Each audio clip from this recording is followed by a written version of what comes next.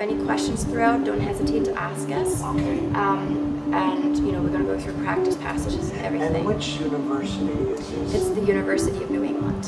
So my name is Jennifer Stiegler Balfour, and I'm an assistant professor in the psychology department, and I've been at UNE for four years. I have several students working with me on my research projects, and my research typically focuses on studying memory and in particular reading comprehension. And in the past we've always worked with a college population, but this past year we've wanted to take it one step further and look at how reading comprehension is influenced by the aging process. So we have actually been working on a project looking at an older population, so individuals that are 65 and older, administering a reading comprehension task on a computer and then also administering the MOCA, the Montreal Cognitive Assessment Test, that determines if there's been any cognitive decline. Ready?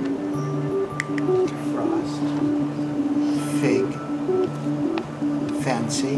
The goal of the study is that we would identify factors that influence reading comprehension and how aging impacts reading comprehension and then to ultimately come up with ways that we can actually help individuals with cognitive decline um, enjoy reading longer. We wanted to have OT students also involved because they're interested in research and aging.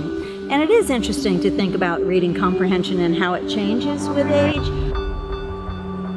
I think these outside experiences really help you gain that extra knowledge so that when you're in the real world, and you have to be in this situation. For example, if you are working with an elderly individual, you'll know that, okay, like I remember a couple years ago, I worked with an elderly person, so I have that extra knowledge and extra experience that maybe others do not have.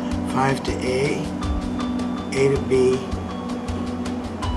B to C, D, E. Do you speak any other languages besides English? No. Getting this experience that I will need in my um, in graduate school has just been phenomenal. I'm really learning the nuances of research and understanding the methodology and some things that some researchers don't consider or some students don't consider for that matter, you know, what it takes, how long it takes to administer studies and just like, you know, all the specifics that they don't really tell you in textbooks.